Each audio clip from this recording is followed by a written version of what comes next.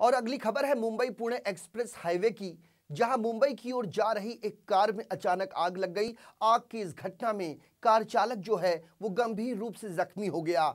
आनंद फानन में कार चालक को अस्पताल ले जाया गया, जहाँ उसका इलाज चल रहा है। यह घटना लोनावाला टनल के पास की है, जब सुबह 11 बजे के आसपास उक्त कार वहाँ से जा रही थी कि अचानक उसमें आग लग गई। घटना की जानकारी मिलते ही दमकल की टीम तत्काल मौके पर पहुँची और कई घंटे की जद्दोजहद के बाद आखिरकार आग पर काबू पा लिया गया। इस हादसे में कार चालक घायल है, इसके अलावा कोई हताहत नहीं है।